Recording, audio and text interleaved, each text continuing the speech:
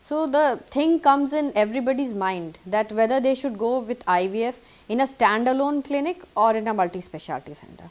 So, let us enumerate few points to tell that a multi-specialty center is far more better than getting an IVF done in a standalone center. Why then the multi-specialty hospital is good? First and foremost, there are many couples who have got many congenital disorders, the female is suffering from it or medical disorders like diabetes, hypertension due to age or due to their lifestyle and congenital disorders might maybe a patient is having seizure disorder since childhood or uh, she is having she is a congenital diabetic patient in these patients she is already on a lot of medication since childhood.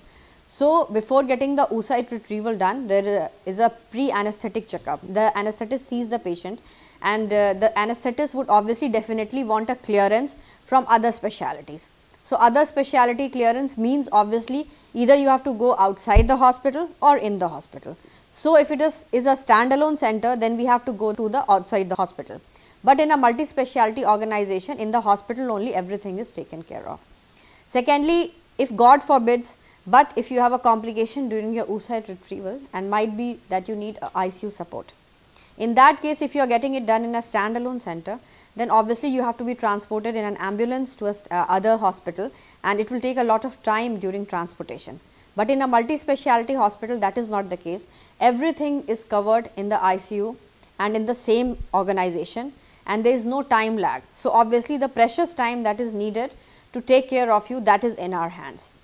Thirdly, if you have a complication during that like a pregnancy and not a pregnancy like after the pickup you have a complication maybe of ovarian hyperstimulation syndrome or anything, then also a standalone clinic it closes down, it is open only from 9 to 5. So, when it closes down then you have a question where to go. But in a multi-specialty hospital that is not the case because the emergency is always open, it is open 24 into 7.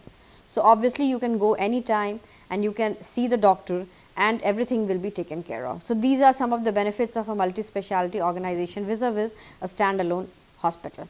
Thirdly, if the pregnancy is being carried and it is being treated care of in that organization only. So, you are very much comfortable with the gynae team, the NICU team because you have been visiting that hospital many times. Fourthly, in any multi-speciality hospital, any corporate hospital, what happens? A UHID is created for you. So, that UHID whenever you go to other specialty that will disclose what all treatments you have taken, which all doctors you have seen. So, that if anything you forget that is not missed by the doctors who are treating you. So, that is a big boon for the patient. So, obviously, a multi-specialty hospital is far far more better than seeing in a standalone center.